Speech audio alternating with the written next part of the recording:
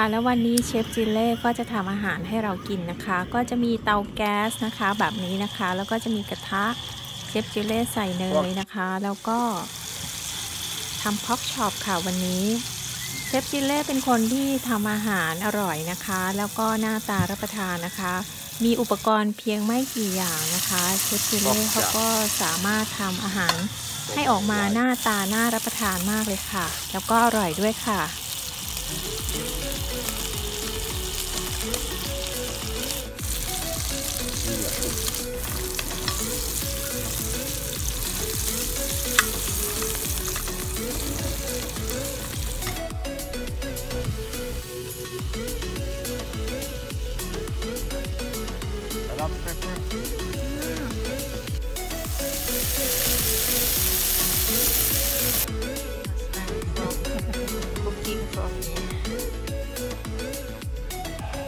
ที่แคมปิ้งเขาก็มีโต๊ะรับประทานอาหารให้นะคะ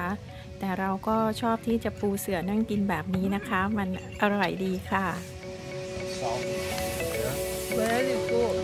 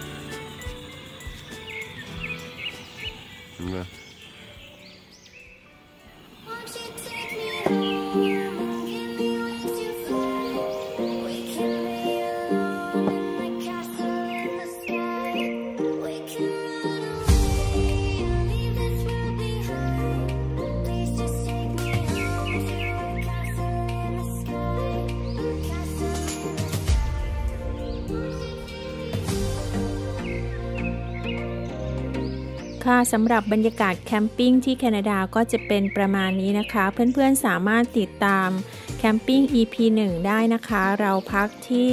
โรเบิร์ตซัน camping ค่ะ ซึ่งบรรยากาศก็จะแตกต่างกันเล็กน้อยนะคะ ส่วนอันนี้ก็คลิปนี้เป็นแคมปิ้ง EP 2 นะคะ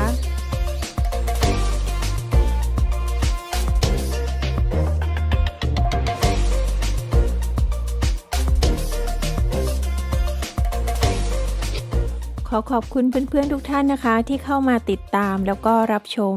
หวังว่าเพื่อนๆคงจะชอบนะคะ ฝากกดไลค์กดแชร์กด Subscribe ให้ด้วยนะคะ เจอกันใหม่คลิปหน้าค่ะ สวัสดีค่ะ